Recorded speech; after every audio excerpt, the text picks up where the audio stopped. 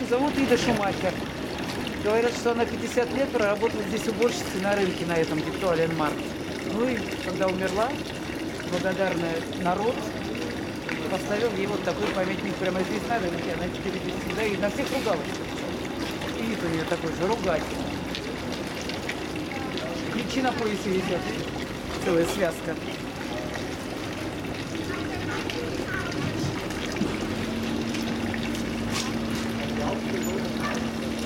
Все соки выжили из старушки, смотрите, до сих пор, до сих пор льется. Вот, блин, с пеной умучили немцы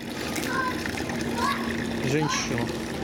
Ну, она удостоилась памятника, представляешь? Какая еще уборщица удостоилась памятника? А это дерево, которое с ней в форме в, в одинокой, это как связано или нет?